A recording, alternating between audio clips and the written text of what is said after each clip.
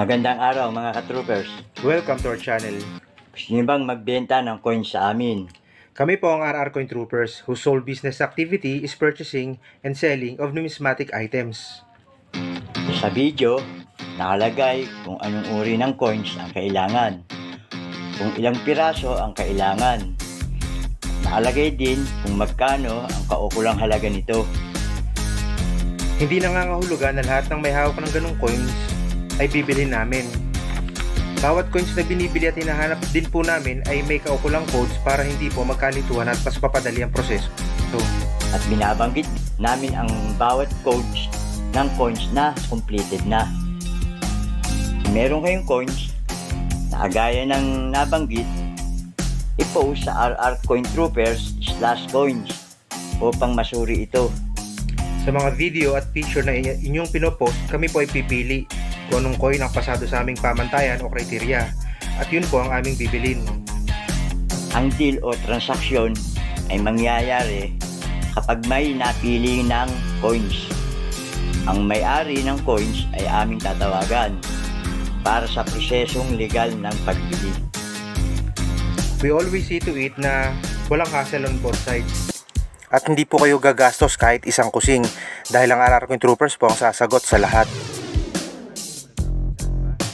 And for the record, ang ipaprioritize po namin ay ang mga sumusunod sa proseso para po maging fair naman sa kanila. Maraming salamat po.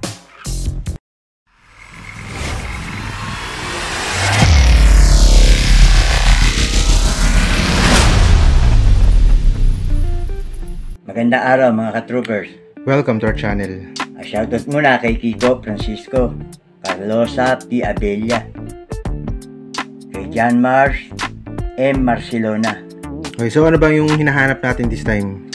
Ah, ang 2014, 5 piso bagong bayani. Ayan yun, yung hinahanap namin. Ah, ang composition to ay nickel brass. Weight, 7.75 grams. May diameter na 26.9 mm. At ang thickness nito ay 1.9 mm. At ang obverse ay 8 pieces, faces of of... workers. Ito yun. At ang reverse naman ay family with two children. Ito naman yun.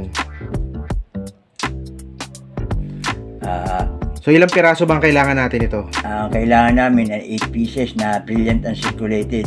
Okay, malinaw po yun. No, isang coin bawat tao ang ang bibilan.